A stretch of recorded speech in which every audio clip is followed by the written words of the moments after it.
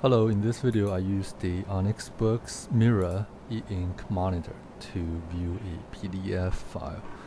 So I'm now using the mouse scrolling and I use the uh, this scroll icon to scroll. And you can see the continuous scroll.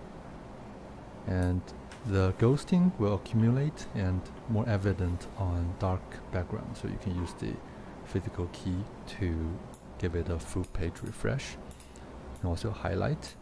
You can copy paste. You can you know edit.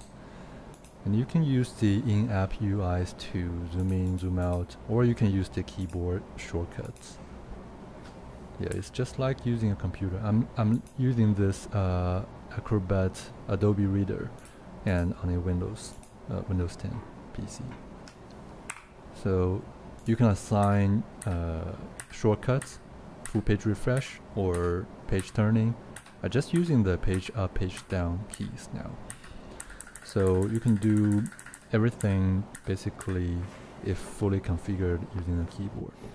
Although Onyx Boox Mira is touchscreen, uh, but the app does not support it out of the box. So yeah, what do you think? Let me know.